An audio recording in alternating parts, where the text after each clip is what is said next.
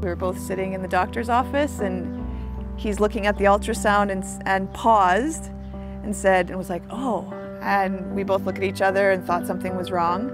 And he said, I don't know how to tell you this, but I think there's three. so we walk out of the room and look at each other in and shock. in shock and just stood there for a few minutes of now what?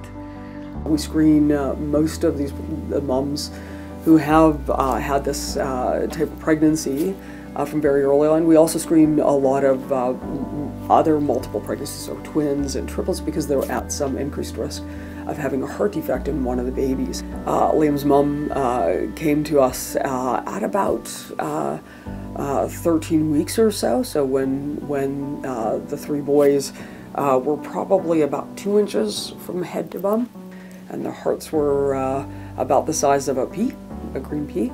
But in Liam, he had a heart problem called tetralogy of Fallot, where uh, there's a hole between the lower chambers of the heart and there's uh, obstruction of blood flow to the lung artery. Um, with that, we knew that condition was correctable. It was certainly um, unsettling and um, you know somewhat uh, upsetting about you know to hear that uh, you know, when you hear anything about the heart. We had a case conference with a couple other people there to just make sure that once he was born, they would decide whether he would need surgery right away or not, because that was a given. He would need surgery. It was just a matter of whether it be right when he was born or could they wait for a little bit.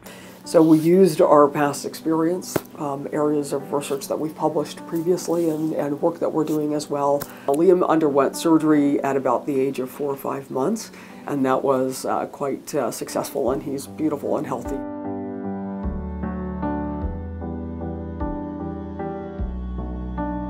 I think about what it would have been like had he been born and we were told, oh, hey, we just found out there's something wrong with his heart.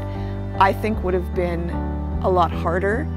The Women's and, and Children's Health Research Institute provides uh, critical infrastructure for the research that is currently happening, uh, both at the Lois Hole Hospital for Women, the Royal Alexandra Hospital, and, um, and here at the Stollery Children's Hospital.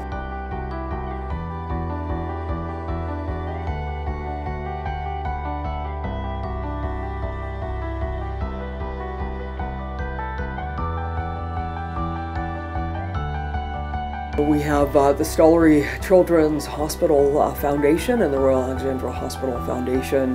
They're critical resources uh, that work with um, outside individuals uh, that want to contribute. I didn't even realize, I thought, well, you're not going to see anything. The heart's this small. What can you possibly? So then when they did, I think that was even more, wow, this is what technology can do today and this is what they're capable of doing.